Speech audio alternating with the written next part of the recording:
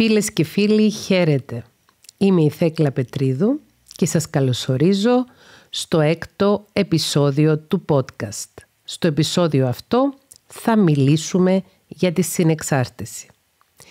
Η συνεξάρτηση είναι ένας όρος ο οποίος έχει αρχίσει να χρησιμοποιείται τα τελευταία χρόνια στο γλωσσάρι της ψυχολογίας. Είναι ένας όρος ο οποίος έχει προκύψει μέσα από την εξαιρετική δουλειά που κάνουν οι ομάδες 12 βημάτων, γνωστές και ως AA, στα ελληνικά ανώνυμη αλκοολική. Ο όρος στα αγγλικά είναι codependency και στα ελληνικά μεταφράζεται ως συνεξάρτηση. Στο προηγούμενο επεισόδιο του podcast μιλήσαμε για τον ναρκισισμό ως ένα στυλ προσωπικότητας.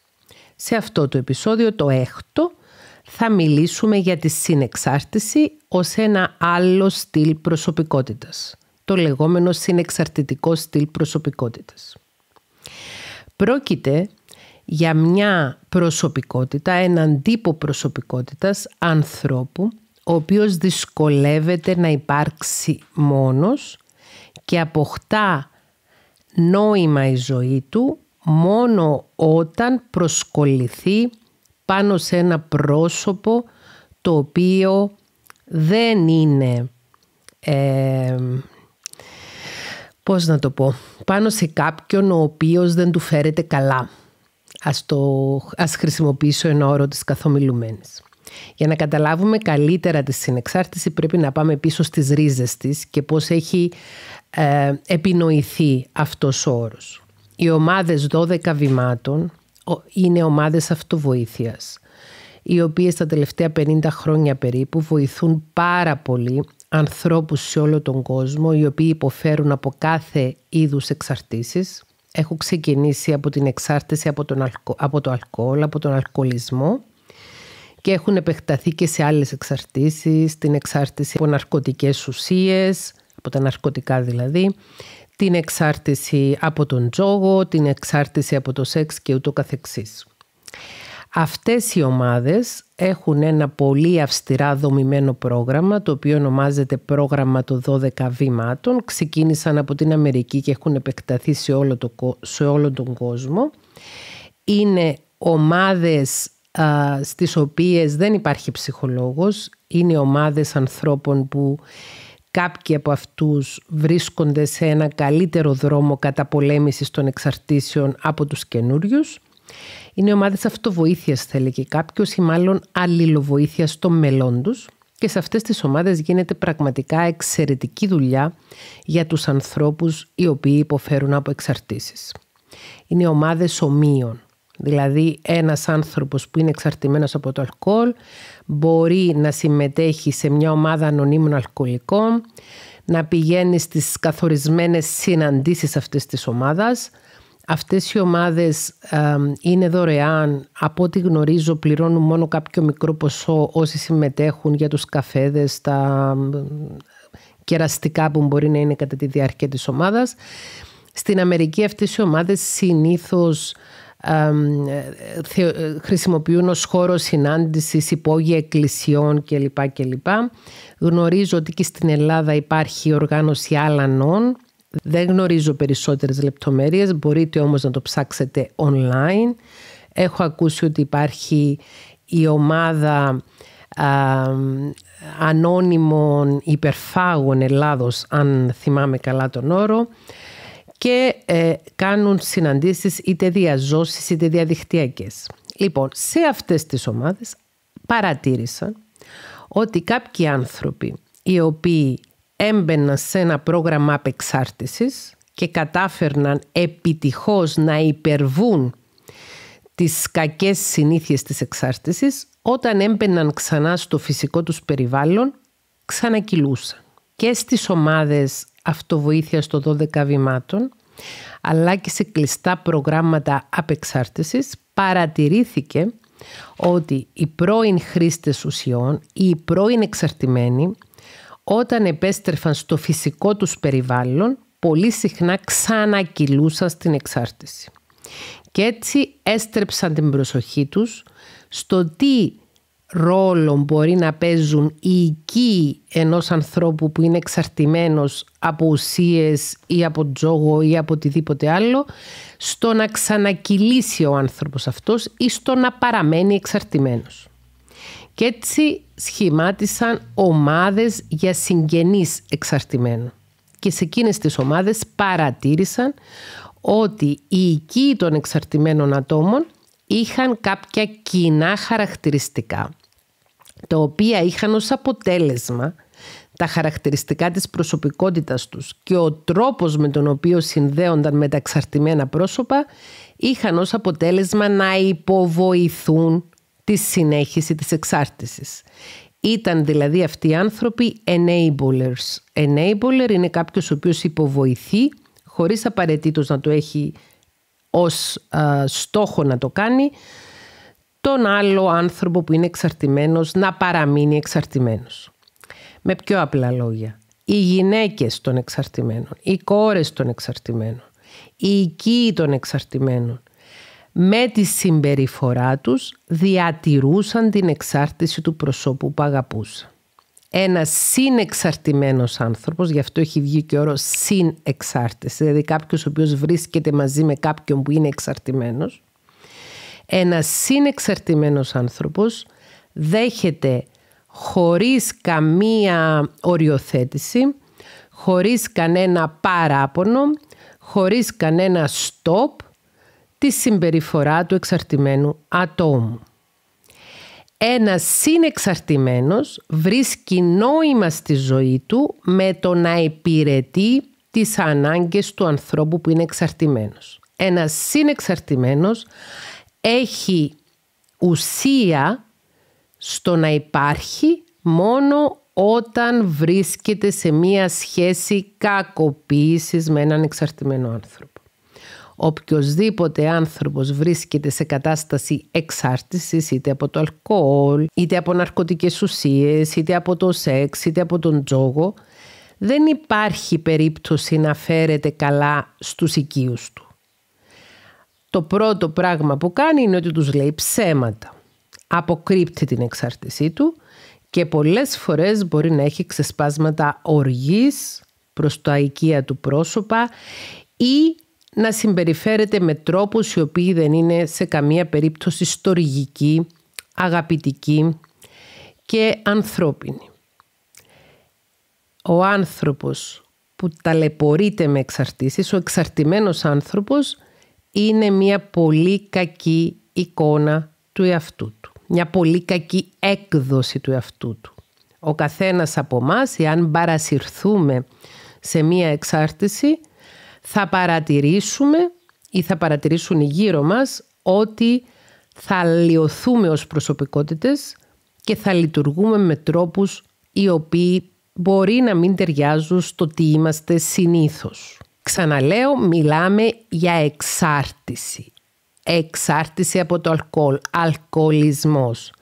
Εξάρτηση από την ηρωίνη. Κάποιος μπορεί να είναι ηρωινομανής. Η εξάρτηση από οποιαδήποτε άλλη ναρκωτική ουσία. Η εξάρτηση από τον τζόγο.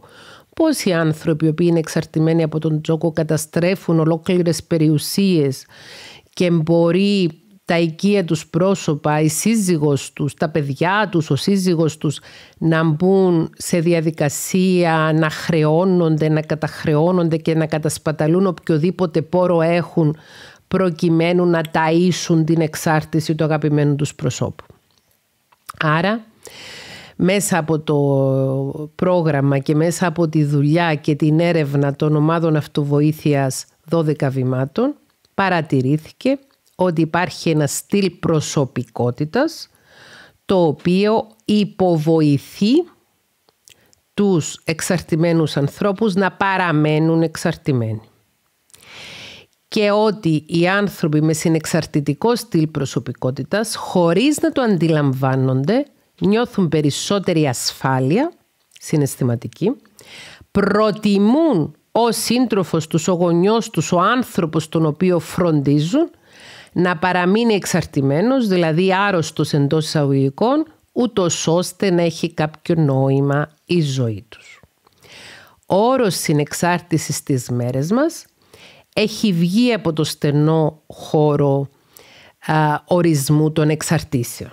Εξακολουθεί η συνεξάρτηση να είναι ένα υπαρκτό φαινόμενο στον οικογενειακό και φιλικό χώρο των εξαρτημένων ανθρώπων, όμως παρατηρούμε στοιχεία συνεξάρτησης και σε άλλων ειδών σχέσεις.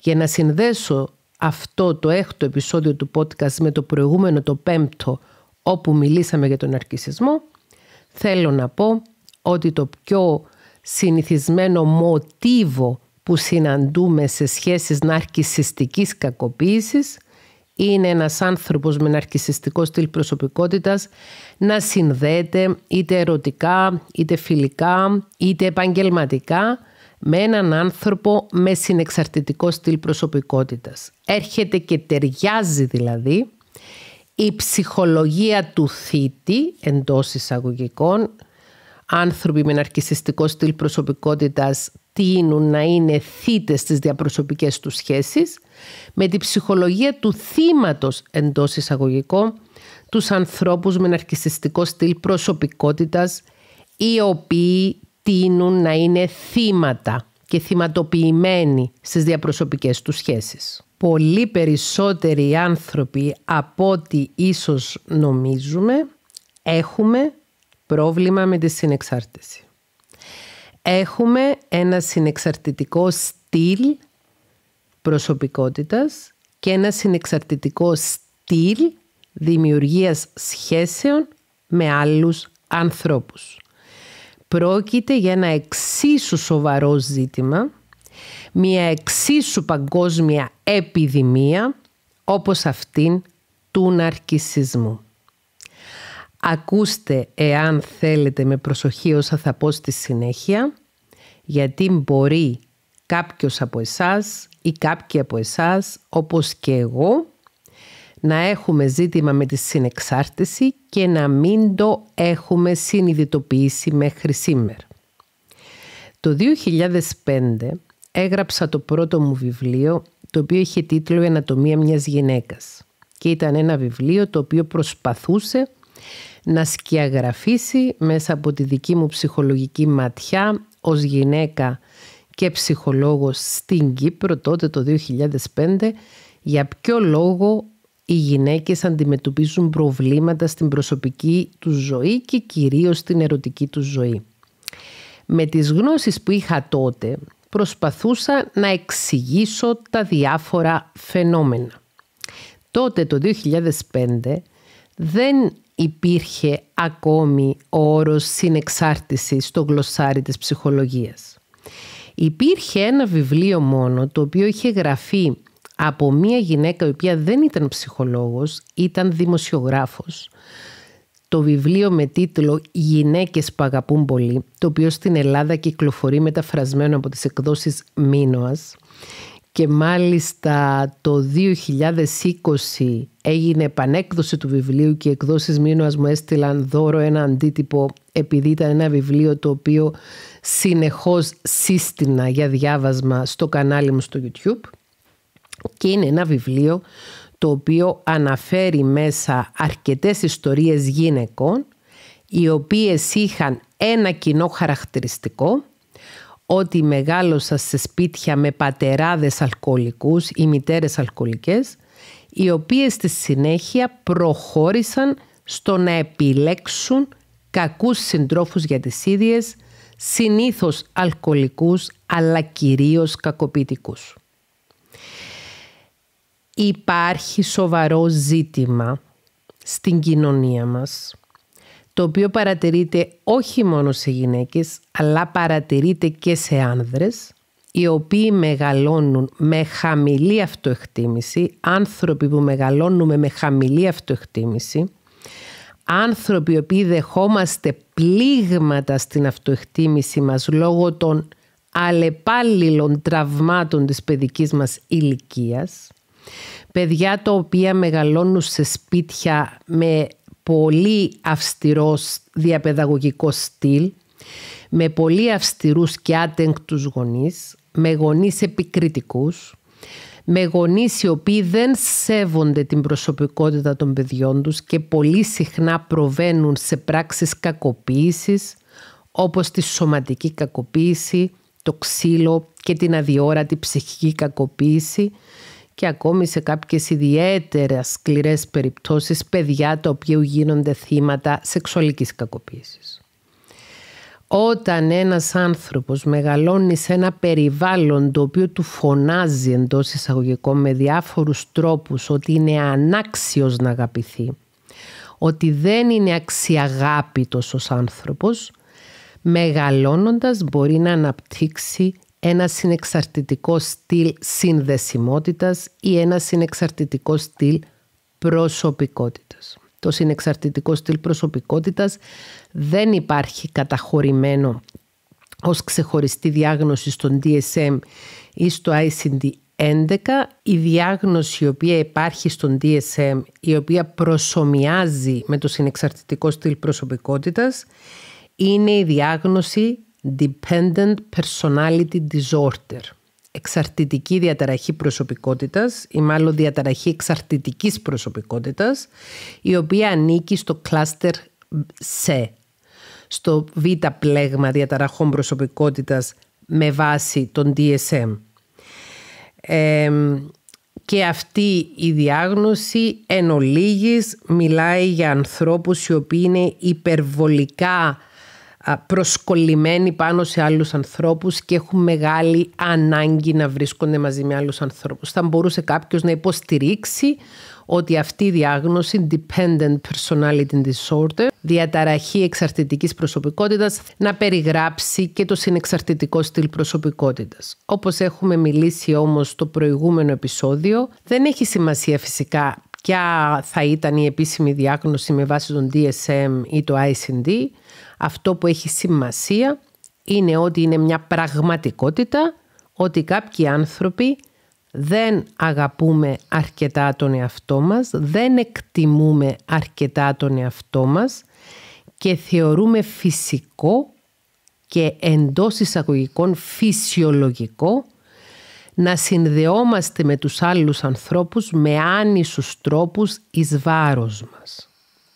Μαθαίνουμε δηλαδή μεγαλώνοντας ότι είναι εντάξει οι άλλοι να μας φέρονται άσχημα, είναι εντάξει οι άλλοι να μας παραμελούν, γιατί και η παραμέληση από τους γονείς προς τα παιδιά συνιστά μια μορφή συναισθηματικής κακοποίησης, ότι είναι εντάξει οι άλλοι να μας εκφοβίζουν ή να μας κάνουν αυτό που λέγεται στην αγγλική bullying όταν ο ίδιος σου ο γονιός σε εκφοβίζει, όταν το ίδιο το εκπαιδευτικό σύστημα σε εκφοβίζει, όταν ομάδες συνομιλίκων και νταΐδες στο σχολείο σε εκφοβίζουν και δεν δέχεσαι καμία ψυχοεκπαιδευτική και ψυχοθεραπευτική βοήθεια ώστε να ξεπεράσεις αυτά τα τραύματα, θεωρείς φυσιολογικό να συνδεθείς είτε σε ένα προσωπικό ερωτικό επίπεδο, είτε σε ένα φιλικό επίπεδο, είτε σε ένα επαγγελματικό επίπεδο,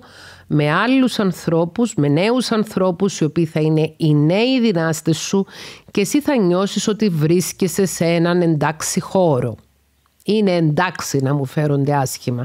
Εδώ μου φερόταν η μάνα που με γέννησε άσχημα. Εδώ μου φερόταν ο πατέρας που με γέννησε άσχημα. Εδώ μου φερόντουσαν τα αδέρφια μου άσχημα. Εδώ μου φερόντουσαν οι φίλοι μου άσχημα. Εδώ μου φερόντουσαν οι εκπαιδευτικοί άσχημα. Και ούτω καθεξής. Είναι τεράστιο ζήτημα το ζήτημα της βίας, της ενδοκογενειακής βίας, της έμφυλης βίας και της βίας της ερωτικές σχέσεις βία στις ερωτικές σχέσεις παρατηρείται και σε σχέσεις ομόφυλων ζευγαριών. Δύο άνδρες οι οποίοι έχουν μία ερωτική σχέση μεταξύ τους μπορεί να έχουν ένα τέτοιο μοτίβο στη σχέση τους που ο ένας να λειτουργεί ως θήτης και ο άλλος ως θύμα. Το ίδιο και δύο γυναίκες που έχουν σχέση μεταξύ τους. Θεωρώ ότι όσο προχωράει ο καιρός, όσο προχωράει η κοινωνία και εξελίσσεται, όσο προχωράει η επιστήμη, ότι πρέπει να φύγουμε από κάποια στερεότυπα φύλου και να πάψουμε να θεωρούμε ότι άνδρας είσαι ο θήτης και γυναίκα είσαι ο θύμα. Είναι υπαρκτό το πρόβλημα της έμφυλης βίας. Είναι μια πραγματικότητα ότι και στην Ελλάδα και στην Κύπρο έχουμε υψηλά ποσοστά γυναικοκτονιών, δηλαδή φόνων και εγκλημάτων εναντίον γυναικών από άνδρες οι οποίοι διαπνέονται από μισογενισμό, όμως δεν είναι όλοι οι άνδρες θύτες και δεν είναι όλες οι γυναίκες θύματα. Βία δεν είναι μόνο η σωματική βία, βία είναι και η ψυχική βία και μπορεί κάλλιστα μία γυναίκα να έχει ένα ναρκισιστικό στυλ προσωπικότητας και να έχει ένα προφίλ θήτη. Και ένας άνδρας να έχει ένα συνεξαρτητικό στυλ προσωπικότητας και να έχει ένα ψυχολογικό προφίλ θύματος. Δεν θέλω να μειώσω σε καμία περίπτωση το πρόβλημα της έμφυλης βίας το οποίο βασίζεται στο μισογενισμό αλλά πιστεύω ακράδαντα ότι το να καλλιεργήσουμε τον μισανδρισμό, να διονύζουμε μία προκατάληψη εναντίον του ανδρών και να θεωρούμε ότι όποιος είναι άνδρας έχει αυτομάτως και τοξική αρενοπότητα, αυτό δεν θα βοηθήσει σε τίποτε την κοινωνία μας να προχωρήσει προς τα μπρος. Ελπίζω ότι κάποια στιγμή δεν θα έχει καμία σημασία τι φίλο έχει ο κάθε άνθρωπος και θα αντιμετωπίζουμε τον κάθε άνθρωπο σαν μια ξεχωριστή οντότητα, μια ξεχωριστή προσωπικότητα και θα τον αξιολογούμε με βάση του πώς λειτουργεί αυτός ο συγκεκριμένος άνθρωπος όχι με βάση το φίλο του ή οτιδήποτε άλλο όπως ο ερωτικός προσανατολισμός και ούτω καθεξής. Ξαναλέω, συνεξαρτώμενοι άνθρωποι μπορεί να είναι γυναίκες, μπορεί να είναι άνδρες, μπορεί να βρίσκονται σε όλα τα κοινωνικά και οικονομικά στρώματα, μπορεί να έχουν κάθε είδους ερωτικό προσανατολισμό και ούτω καθεξής. Η συνεξάρτηση είναι μια πολύ σοβαρή ψυχολογική συνθήκη γιατί σημαίνει ότι αν έχεις συνεξαρτητικό στυλ προσωπικότητας χωρίς να το συνειδητοποιείς υποσυνείδητα θα επιλέγεις να είσαι με ανθρώπους κακοποιητικούς. Χωρίς να το αντιλαμβάνεσαι θα δένεσαι με τους άλλους λόγω του τραυματικού δεσίματος, του λεγόμενου στα αγγλικά trauma bonding. Εάν έχεις συνεξαρτητικό στυλ προσωπικότητας, θα βρίσκεις ελκυστικούς τους κακοποιητικούς ανθρώπους.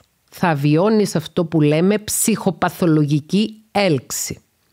Στο κανάλι μου στο YouTube υπάρχουν σχεδόν 4.000 βίντεο τα οποία χωρίζονται σε διάφορες θεματικές και έχουν τις αντίστοιχες playlist. Στο κανάλι μου, στο YouTube, που μπορεί να το βρει κάποιος πληκτρολογώντας το όνομά μου είτε το μικρό Θέκλα είτε και το επίθετο Θέκλα Πετρίδου στο search στη μηχανή αναζήτησης του YouTube υπάρχει ένα playlist στο οποίο υπάρχουν αρκετά βίντεο, πάνω από 100 βίντεο, τα οποία αναφέρονται στη συνεξάρτηση. Μπορείτε να μπείτε στο κανάλι και να δείτε όσα περισσότερα βίντεο θέλετε, όπου υπάρχουν πολλές χρήσιμες πληροφορίες που θα σας βοηθήσουν να συνειδητοποιήσετε εάν τυχόν ίσως αντιμετωπίζετε ένα τέτοιο πρόβλημα. Και χαρακτηρίζονται οι σχέσεις σας από συνεξάρτηση. Στις σχέσεις τις οποίες μπαίνετε δηλαδή είστε συνεξαρτώμενοι. Στις σχέσεις τις οποίες μπαίνετε γινόσαστε ψυχολογικά θύματα του άλλου ανθρώπου.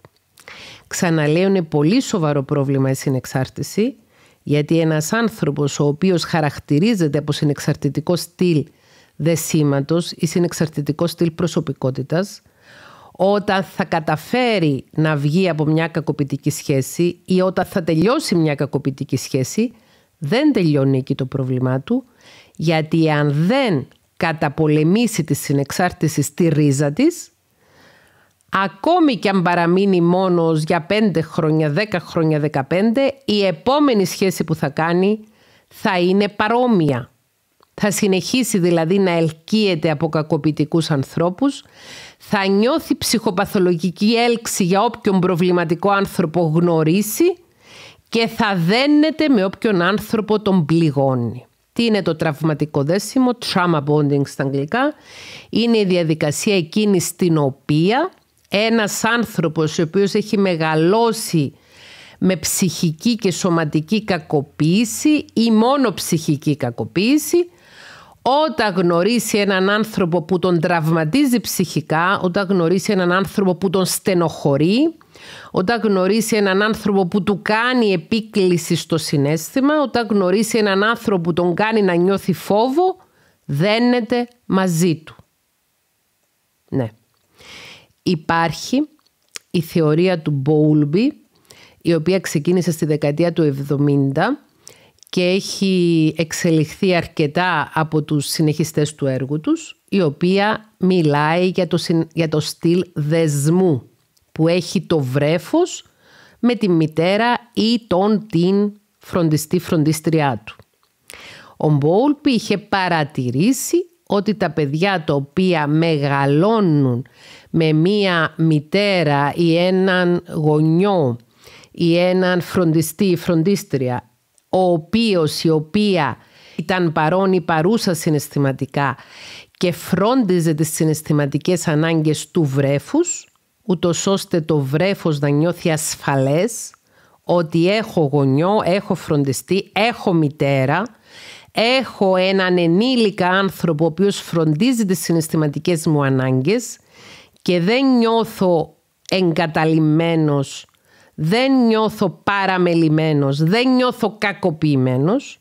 Μεγαλώνοντας αυτά τα παιδιά έχουν ένα ασφαλές στυλ δεσμού, δηλαδή μπορούν να ζήσουν, να υπάρξουν και μόνοι τους καλά και δεν μπαίνουν σε μία ερωτική, φιλική, επαγγελματική σχέση εκτός κι αν αυτή η σχέση είναι υγιής. Δεν ανέχονται δηλαδή κακοποίηση.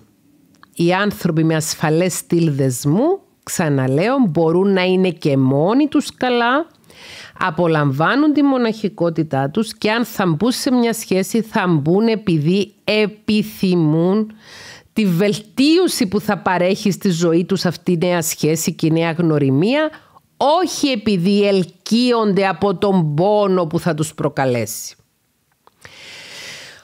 Το ασφαλές στυλ δεσμού, ο ασφαλής δεσμός είναι ο ιδανικός τρόπος με τον οποίο θα ήταν εξαιρετικά καλή ιδέα να μεγαλώναμε όλοι μας. Όμως οι περισσότεροι από εμάς έχουμε μεγαλώσει με μη ασφαλές στυλ δεσμού.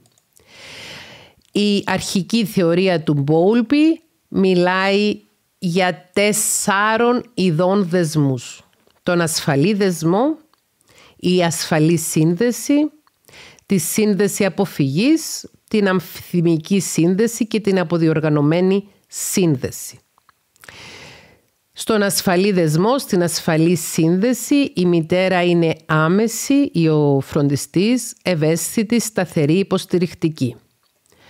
Το παιδί αισθάνεται ασφάλεια και σιγουριά για να εξερευνήσει το περιβάλλον γύρω του, αποκτά εμπιστοσύνη στις ικανότητες του, έχει ψυχική ανθεκτικότητα, αυτό που στα αγγλικά ονομάζεται resilience και ανεξαρτησία.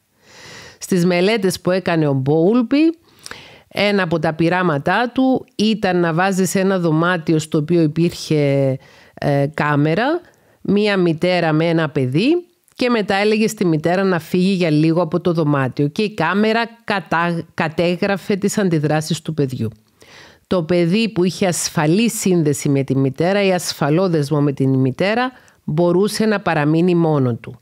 Ενώ ένα παιδί που δεν είχε ασφαλές δεσμό με τη μητέρα δεν άντεχε τον αποχωρισμό. Ο αμφιθυμικός δεσμός, η αμφιθυμική σύνδεση έχει να κάνει με ένα γονέα, μία μητέρα ή ένα φροντιστή, ο οποίος είναι ασυνεπής. Μερικές φορές είναι άνθρωπος που δείχνει ενδιαφέρον προς το παιδί, η ευαισθησία και μερικές φορές είναι άνθρωπο που, άνθρωπος που δείχνει αδιαφορία προς το παιδί. Σε μια αμφιθυμική σύνδεση, σε ένα αμφιθυμικό δεσμό, το παιδί νιώθει άγχος, ανασφάλεια, είναι θυμωμένο, βιώνει συναισθηματική εγκατάλειψη, αδυναμεί να ελέγξει την παρορμητικότητα του και μπορεί να εκδηλώσει ακόμη και αντικοινωνική και επιθετική συμπεριφορά. Και το παιδί το οποίο έχει μία μητέρα ή έναν φροντιστή που είναι αμφιθυμικός, που έχει ένα αμφιθυμικό δεσμό μαζί του, νιώθει και πιστεύει ότι ο φροντιστής του ή η μητέρα του δεν μπορεί να φροντίσει για την κάλυψη των αναγκών του. Και υπάρχει και η μητέρα που είναι αποφευκτική ή ο φροντιστής που είναι αποφευκτικός που καταλήγει σε μια αποφευκτική σύνδεση, ένα αποφευκτικό στυλ δεσμού. Ο αποφευκτικός γονιός ή φροντιστής είναι απόμακρος, αδρανής, απορριπτικός, επικριτικός και αντιδρά με θυμό ή τιμωρία. Το παιδί σε μια σύνδεση αποφυγής ή σε ένα αποφευκτικό δεσμό βιώνει συχνά την απόρριψη, έχει συναισθηματική απομόνωση και αναπτύσσει άγχος και φόβο. Και το παιδί σε μια αποφευκτική σύνδεση και σε ένα αποφευκτικό δεσμό υποσυνείδητα πιστεύει ότι η μητέρα, ο φροντιστής, ο πατέρας πολύ πιθανόν να μην παρέχει κάλυψη των αναγκών του. Και υπάρχει και ένα τέταρτο στυλ δεσμού, το αποδιοργανωμένου δεσμού ή αποδιοργανωμένης σύνδεσης κατά τη θεωρία της προσκόλλησης του Μπόλμπι, όπου η μητέρα ή ο φροντιστής ή ο πατέρας είναι υπερβολικός, απρόβλεπτος, τρομακτικός, μπορεί να είναι χρήστης ουσιών ή να έχει σοβαρές ψυχιατρικές διαταραχές που να μην παίρνει θεραπεία για αυτές και το παιδί αναπτύσσει έντονο φόβο, θλίψη, αναζήτηση ασφάλειας σε αγνώστους, χαμηλή αυτοεκτίμηση, θυμό και παθητικότητα. Σε ένα τέτοιο αποδιοργανωμένο στυλ δεσμού υπάρχει σοβαρή σύγχυση για το παιδί, γιατί δεν υπάρχει καμία στρατηγική για κάλυψη των αναγκών του. Ο Μπόουλπι λοιπόν στην αρχή της δεκαετίας του 70 ανέπτυξε τη θεωρία της προσκόλλησης. Μιλούσε τότε ο Μπόλπι για σύνδεση μητέρας παιδιού. Με σημερινούς όρους θα μιλήσουμε για σύνδεση μητέρας φροντιστή πατέρα παιδιού. Και η θεωρία της προσκόλλησης αναφέρεται, όπως είπα προηγουμένως, στο συναισθηματικό δεσμό ανάμεσα στο βρέφος και το κύριο πρόσωπο που το φροντίζει. Ο τρόπος που το πρόσωπο που φροντίζει το βρέφος ανταποκρίνεται στα μηνύματα του παιδιού έχει καθοριστική σημασία καθώς το βρέφος μαθαίνει κατά πόσο μπορεί να στηριχτεί στη μητέρα, στο γονέα, στο φροντιστή για να του προσφέρει ασφάλεια και παρηγοριά. Με βάση λοιπόν τη θεωρία της προσκόλλησης του Μπόλπι, εκτός και αν έχουμε ασφαλή δεσμό με τη μητέρα ή το πρόσωπο που μας φροντίζει ή τον πατέρα μας, δεν θα μπορέσουμε να δημιουργήσουμε υγιείς σχέσεις ως ενήλικες. Όπως είπα και στο προηγούμενο επεισόδιο, τόσο οι άνθρωποι οι οποίοι έχουν αρκισιστικό στυλ προσωπικότητας έρχονται από μια κακοποιητική παιδική ηλικία, έτσι και στο κομμάτι της συνεξάρτησης, οι άνθρωποι που έχουν συνεξαρτητικό στυλ προσωπικότητας και έχουν ζητήματα με τη συνεξάρτηση, επίσης προέρχονται από μια κακοποιητική παιδική ηλικία. Η διαφορά που έχει ο νάρκισσος από τον συνεξαρτώμενο είναι ότι η αντίδραση του νάρκισσου στην κακοποίηση που έχει δεχθεί, στην παραμέληση που έχει δεχθεί στην παιδική του ηλικία είναι να γίνει και αυτός με τη σειρά του κακοποιητής, παραμελητής και ούτω καθεξής, ενώ στην περίπτωση της συνεξάρτησης η αντίδραση του συνεξαρτώμενου προσώπου σε μια κακοποιητική παιδική ηλικία είναι να στραφεί εναντίον του εαυτού του. Ο νάρκισσος στρέφεται εναντίον των άλλων, ο ναρκισιστής στρέφεται εναντίον των άλλων, ο άνθρωπος με ναρκισιστικό στυλ προσωπικότητας Όσοι δεν έχετε ακούσει, σας παραπέμπω στο προηγούμενο επεισόδιο, το πέμπτο επεισόδιο του podcast αυτού που είχε θέμα τον αρκισισμό. Ο άνθρωπος με ναρκισιστικό στυλ προσωπικότητας στρέφεται εναντίον των άλλων, ζει εγωκεντρικά και δεν γνιάζεται καθόλου μα καθόλου για το πώς νιώθουν οι άλλοι, ενώ ο συνεξαρτώμενος, ο άνθρωπος με συνεξαρτητικό στυλ προσωπικότητας, λόγω της κακοποιητικής παιδικής ηλικίας η αντίδραση του είναι να στραφεί εναντίον του εαυτού του και να νοιάζεται υπερβολικά για τους άλλους. Οι συνεξαρτώμενοι άνθρωποι παρουσιάζουν υψηλά ποσοστά ενσυναίσθησης, υπερβολικά ποσοστά ενσυναίσθησης, ώστε να νοιάζονται πολύ περισσότερο για τους άλλους παρά για τον ίδιο τους τον εαυτό. Ο άνθρωπος που λειτουργεί συνεξαρτητικά, δεν φροντίζει καθόλου τη δική του υγεία, δεν φροντίζει καθόλου τη δικιά του ισορροπία, δεν φροντίζει καθόλου να καλύψει τις δικές του προσωπικές ανάγκες, είτε ψυχικές, είτε υλικές, είτε σωματικές, είτε πνευματικές, είτε συναισθηματικές, αλλά είναι συνεχώς εστιασμένος ο συνεξαρτώμενος άνθρωπος στο να καλύπτει τις ανάγκες των άλλων. Και πάμε πίσω στον χώρο από όπου αρχικά ήρθε ο όρος συνεξάρτηση. Στο χώρο των εξαρτήσεων. Ένας συνεξαρτώμενος άνθρωπος ο οποίος σχετίζεται με έναν αλκοολικό δεν λαμβάνει καθόλου υπόψη του ότι ο αλκοολικός σύντροφος ή η αλκοολική σύντροφος τον την παραμελεί συναισθηματικά ότι λέει ψέματα προκειμένου να καλύψει την εξάρτησή του ή ότι κατασπαταλά τα, τους σπόρους του ζευγαριού ή της οικογένειας προκειμένου να καλύψει την εξάρτησή του αφήνοντας τον την σύντροφό του στα κρύα του λουτρού. Δεν θα διεκδικήσει καθόλου τα δικαιώματα του ή τα δικαιώματα της ένας άνθρωπος που είναι συνεξαρτώμενος. Το μόνο που έχει έγνοια συνεχώς είναι να είναι ο θήτης του καλά ή η θήτης του καλά. Αντιλαμβάνεστε ότι μιλάμε για το ψυχολογικό προφίλ ενός ανθρώπου με μηδαμινή αυτοεκτίμηση που δεν αυτοπροστατεύεται. Άνθρωποι οι οποίοι κυκλοφορούν ανάμεσα σε έναν κόσμο τρομακτικό, γιατί ναι, είναι διαδεδομένη η κακία και η αναλυγησία στην εποχή μας, παρουσιάζοντας εξαιρετικά υψηλά ποσοστά ενσυναίσθησης, τη λεγόμενη υπερενσυναίσθηση, ώστε να καταλήγουν να είναι επικίνδυνοι για τον ίδιο τους τον εαυτό. Το να λειτουργεί συνεξαρτώμενα αποτελεί μία αυτοκαταστροφική συμπεριφορά αν δεν φροντίσεις εσύ για τη δική σου ηλική, σωματική, ψυχική, συναισθηματική, πνευματική προστασία, δεν θα φροντίσει κανένας άλλος. Ο κάθε ενήλικας είναι υποχρεωμένος να φροντίζει τον εαυτό του. Ή ας το πω καλύτερα, εάν ο κάθε ενήλικας δεν φροντίζει τον εαυτό του, τότε δεν θα το φροντίσει κανείς άλλος και έτσι κινδυνεύει και από σωματικές ασθένειες ή απώλεια της ζωής του και από ψυχική κακοποίηση και από ανάπτυξη ψυχικών διαταραχών.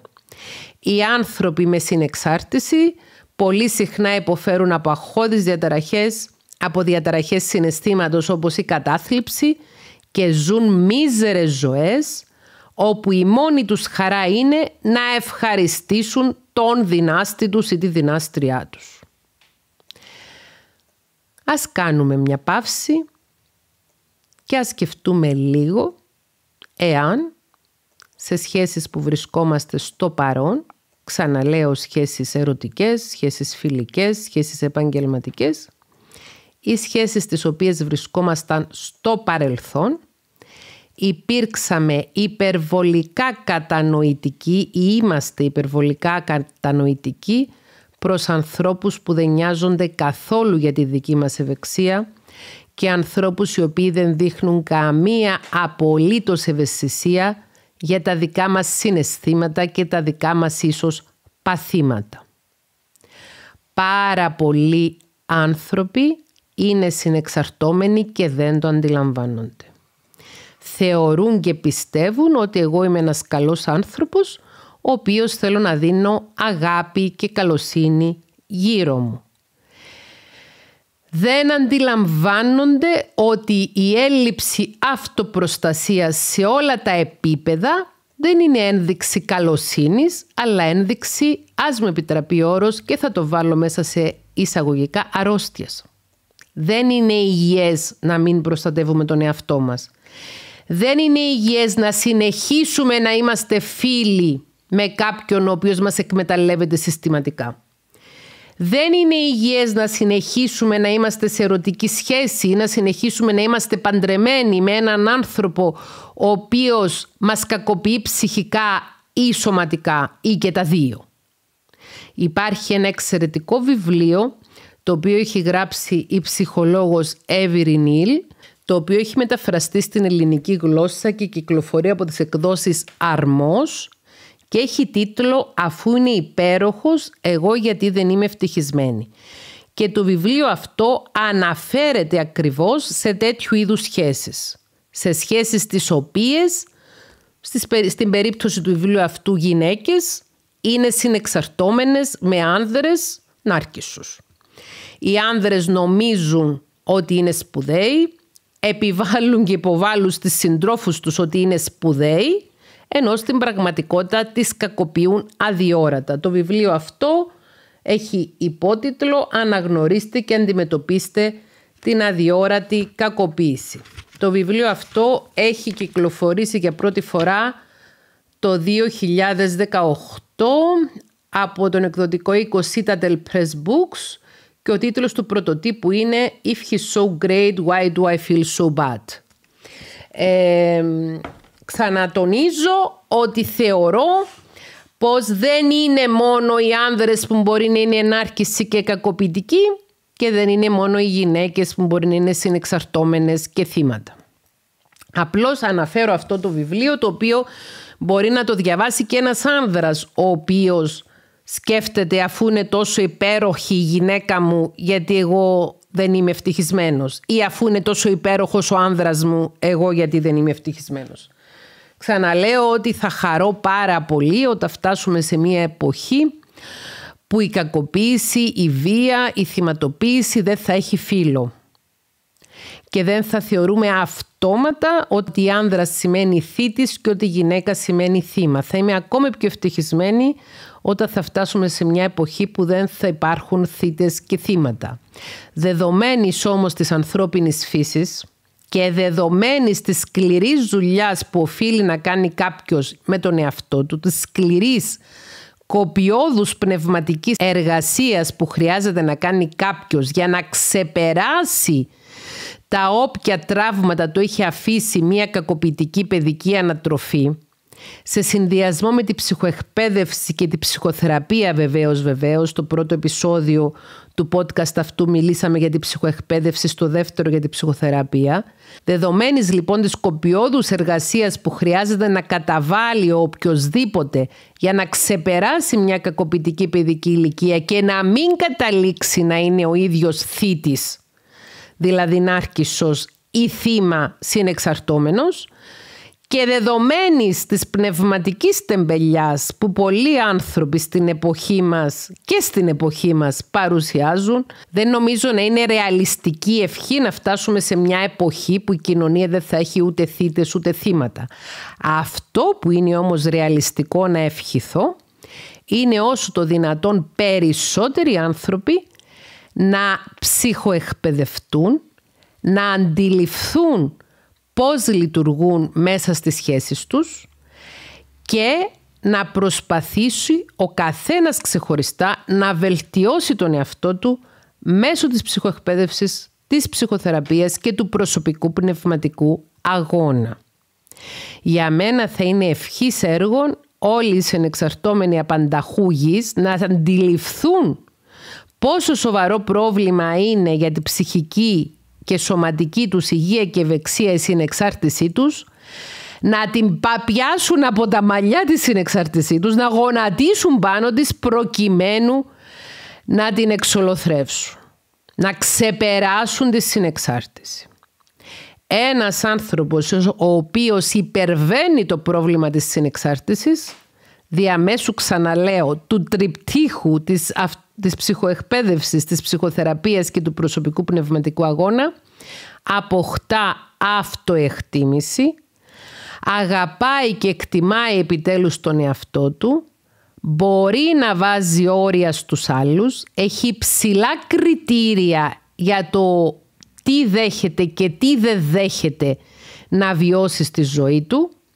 Ένας άνθρωπος που αποθεραπεύεται από τη συνεξάρτηση τερματίζει κακοποιητικές σχέσεις από τη ζωή του. Ακόμη και αν αυτές οι σχέσεις είναι σχέσεις αίματος που θεωρείται πάρα πολύ δύσκολο και ίσως και ενάντια στην κουλτούρα μας να διακόψεις ένα δεσμό αίματος, ένας συνεξαρτώμενος άνθρωπος ο οποίος έχει ψυχοεκπαιδευτεί, ψυχοθεραπεύεται και προσπαθεί πνευματικά να διασώσει τον εαυτό του από τη συνεξάρτηση, από την κατάθλιψη, από τη σύνθετη διαταραχή μετατραυματικού στρες για την οποία μιλήσαμε στο τέταρτο επεισόδιο ένας άνθρωπος ο οποίος θέλει επιτέλους να ξεπεράσει τα τραύματά του μπορεί να αποφασίσει συνειδητά και να μειώσει τις επαφές, να πάει low contact δηλαδή ή να σταματήσει παντελώς τις επαφές ακόμη και με γονείς, ακόμη και με αδέρφια, ακόμη και με ανθρώπους με τους οποίους έχει ισχυρούς δεσμούς αίματος. Όσον αφορά στους δεσμούς αίματος, ως ψυχολόγος έχω τη γνώμη πως ο μόνος δεσμός αίματος που δεν έχουμε δικαίωμα να διακόψουμε είναι ο δεσμός αίματος με τα ανήλικα παιδιά μας προς το οποία φέρουμε τεράστια ευθύνη να είμαστε παρόντες, να είμαστε παρούσες και να τους προσφέρουμε ένα ασφαλή δεσμό. Δυστυχώς δεν έχουμε γεννηθεί σε έναν ιδανικό κόσμο. Δυστυχώς δεν μας γέννησαν και δεν μας μεγάλωσαν οι ιδανικοί γονείς. Και δυστυχώς δεν είμαστε οι ιδανικοί γονείς για τα παιδιά μας. Όσοι από εμάς είμαστε γονείς. Στα πλαίσια όμως του δυνατού μπορούμε να προβληματιστούμε σε σχέση με το πώς λειτουργούμε στις ανθρώπινες μας σχέσεις, σε σχέση με το αν έχουμε χαρακτηριστικά συνεξάρτησης, εάν δηλαδή δεν αντέχουμε να είμαστε μόνοι, όταν είμαστε μόνοι χωρίς ερωτική σχέση νιώθουμε ότι η ζωή μας δεν έχει νόημα, η ζωή μας αποκτά νόημα όταν μπούμε σε μια ερωτική σχέση και μπαίνοντας σε μια ερωτική σχέση δίνουμε με τα μούτρα κατά τη λαϊκή ρίση, δηλαδή τα δίνουμε όλα δεν βάζουμε καθόλου όρια και θεωρούμε τον εαυτό μας λιγότερο σημαντικό, λιγότερο αξιόλογο, λιγότερο σπουδαίο μέρος της σχέσης. Άρα κάνουμε συνεχώς υποχωρήσεις και δεχόμαστε τα πάντα από συναισθηματική παραμέληση μέχρι ε, αδιόρατη ψυχική κακοποίηση, μέχρι ορατή σωματική κακοποίηση και ούτω καθεξής. Εάν βρίσκουμε τον εαυτό μας να λειτουργεί με συνεξαρτητικό τρόπο, είναι εξαιρετικά καλή ιδέα να μάθουμε περισσότερα πράγματα γύρω από τη συνεξάρτηση. Σας ξαναλέω ότι στο κανάλι μου στο YouTube που μπορεί κάποιος να το βρει γράφοντας απλώς το όνομά μου στη μηχανή αναζήτησης του YouTube Θέκλα ή Θέκλα Πετρίδου υπάρχει ένα playlist με πάνω από 100 βίντεο με θέμα τη συνεξάρτηση. Μπορείτε να παρακολουθήσετε αυτά τα ψυχοεκπαιδευτικά βίντεο και να πάρετε το θάρρος παρακολουθώντας τα βίντεο ώστε να κάνετε βαθύτερη ενδοσκόπηση, να αποκτήσετε περισσότερη αυτογνωσία και αν βρίσκετε τον εαυτό σας να έχει στοιχεία συνεξάρτησης θα είναι ένα τεράστιο δώρο που θα κάνετε στον εαυτό σας το δώρο της ψυχοθεραπείας παράλληλα με την ψυχοεκπαίδευση. Είναι δύσκολο να αλλάξουμε ένα στυλ προσωπικότητας, είναι εξαιρετικά δύσκολο. Στο προηγούμενο επεισόδιο που μιλήσαμε για τον ναρκισισμό είπαμε ότι είναι σχεδόν αδύνατο ένας άνθρωπος ναρκισιστής, ένας άνθρωπος με ναρκισιστικό στυλ προσωπικότητας να αλλάξει τον εαυτό του επειδή δεν έχει συναισθηματική ενσυναίσθηση και το αίσθημα του φιλότιμου οι άνθρωποι όμως οι οποίοι υποφέρουν από συνεξάρτηση μπορούν να αλλάξουν διαμέσω της ψυχοεκπαίδευσης, της ψυχοθεραπείας και του προσωπικού αγώνα. Δεν είναι δύσκολο, Είναι όμως εφικτό. Και εδώ θέλω να μοιραστώ μαζί σας κάτι προσωπικό. Όσοι είστε μέλη στο κανάλι μας στο YouTube ήδη είσαστε εξοικειωμένοι με την συνήθεια που έχω να μοιράζομαι και δικά μου ελαττώματα με τους ανθρώπους που παρακολουθούν τα βίντεο. Εγώ ίδια προσωπικά μέχρι πριν κάποια χρόνια δεν είχα συνειδητοποιήσει πόσο βαθιά συνεξαρτώμενη ήμουν σε όλες μου τις ερωτικές σχέσεις αλλά και σε κάποιες από τις φιλικές μου σχέσεις. Ήτανε τεράστιο σοκ για μένα να αντιληφθώ ότι είχα τέτοιο σοβαρό ζήτημα γιατί για πολλά χρόνια ζούσα μια ζωή μοναχική. Οπότε, όπως είπα και προηγουμένως, όταν κάποιος ζει μόνος, μπορεί να έχει πρόβλημα με τη συνεξάρτηση, αλλά αυτό να μην είναι φανερό, επειδή δεν έχει κάποια σχέση πάνω στην οποία είναι διαφανή το ζήτημα της συνεξάρτησης. Μετά το τέλος της τελευταίας μεγάλης μου σχέσης, έκανα μία ε, στροφή 180 μοιρών θα έλεγα, όπου εστιάστηκα για πρώτη φορά τόσο εντατικά και τόσο μονομερός στα δικά μου ελαττώματα. Και είπα δεν έχει κανένα απολύτως νόημα να καθίσω να κλαίω και να κλαίγομαι γιατί ήμουν άτυχη ή γιατί ε, για ακόμη μια φορά έχω προδοθεί και όλες αυτές τις ρομαντικές, ε, φαντασιωτικές ε, αφηγήσεις οι οποίες μας δίνουν το συγχωροχάρτη για να προχωρήσουμε κάνοντας παρόμοιες επιλογές ή παραμένοντας μόνοι μας χωρίς να βελτιώσουμε τον εαυτό μας. Με αυτό δεν σημαίνει ότι μόνο εγώ έχω φταίξει σε οτιδήποτε δύσκολο έχει συμβεί στην προσωπική μου ζωή. Αυτό που σημαίνει όμως είναι ότι είπα παίρνω επιτέλους την πλήρη ευθύνη μου και αυτό που είχα δοκιμάσει να αντιληφθώ το 2005 όταν έγραφα το πρώτο μου βιβλίο με τίτλο «Ενατομία μιας γυναίκας» το γιατί κάποιες γυναίκες δυσκολεύονται τόσο πολύ στην προσωπική τους ζωή και στις σχέσεις τους, 15 χρόνια μετά, μετά το δεύτερο μου διαζύγιο, μου ήρθε η απάντηση για μένα προσωπικά η οποία μπορεί να ισχύει και για άλλες γυναίκες και για άλλους ανθρώπους. Συνειδητοποίησα ότι λειτουργώ ως συνεξαρτώμενη. Και το να είσαι συνεξαρτώμενη δεν είναι κάτι που σε αθωώνει δεν είναι κάτι που σε κάνει το καημένο το θύματάκι, είναι κρίμα αυτό το ε, αυτό το εύθραυστο πλάσμα που βρίσκεται εκεί και το χτυπάνε τα κύματα. Όχι.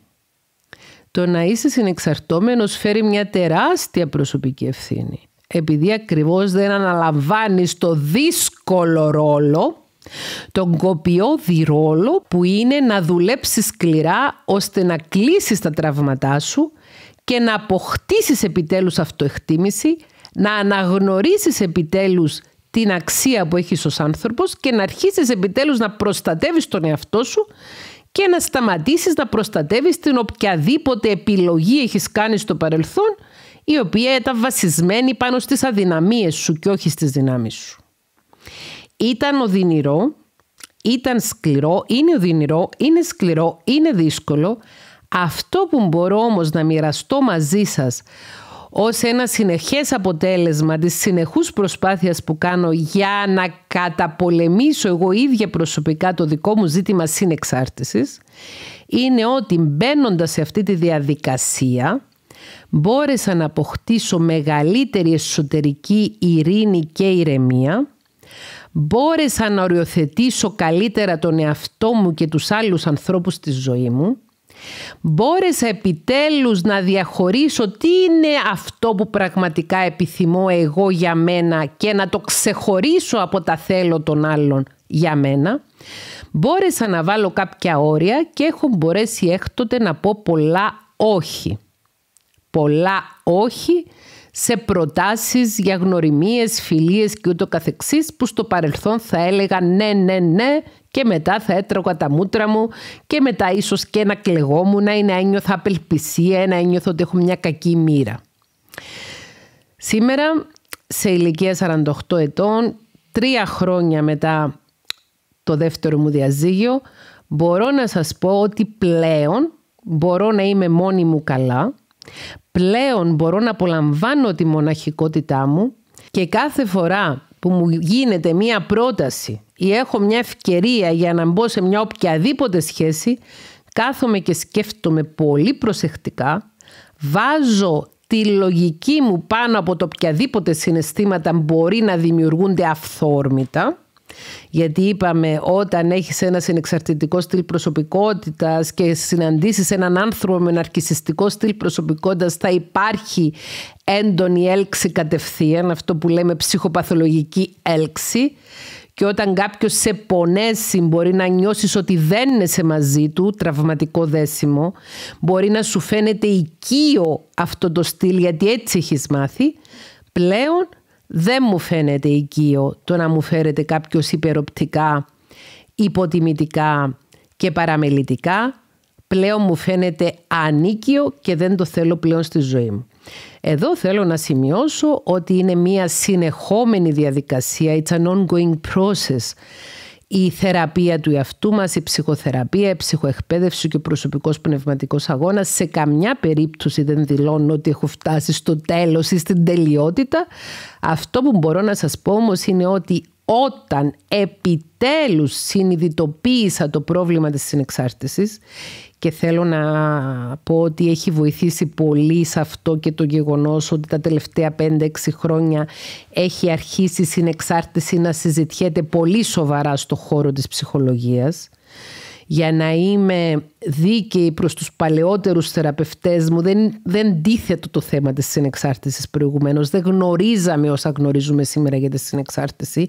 Όπως επίσης δεν γνωρίζαμε παλιότερο όσα γνωρίζουμε σήμερα για τον αρκισισμό ή για τη σύνθετη διαταραχή με τα τραυματικούς στρες.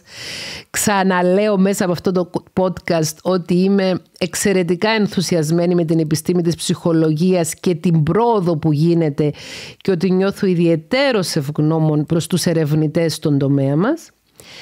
Θέλω να σας πω ότι όπως βοηθήθηκα και βοηθιέμαι και εγώ από τις νέες γνώσεις γύρω από τη συνεξάρτηση και τη δυναμική των σχέσεων, ότι μπορείτε να βοηθηθείτε κι εσείς. Σας στέλνω την αγάπη μου, μια μεγάλη νοερή αγκαλιά και σας προσκαλώ να έρθετε στο κανάλι μας στο YouTube, το οποίο φέρει το όνομά μου, Ψάχνοντας τη μηχανή αναζήτησης του YouTube μπορείτε να βρείτε το κανάλι μας το οποίο σήμερα έχει περίπου 75.000 συνδρομητές και πάνω από 35 εκατομμύρια θεάσεις. Σας προσκαλούμε να έρθετε σε αυτή τη ψυχοεκπαιδευτική κοινότητα όπου υπάρχουν πολλές περισσότερες πληροφορίες πάνω και σε αυτά τα θέματα που συζητούμε στα podcast. Θα τα πούμε την επόμενη πέμπτη. Φιλιά!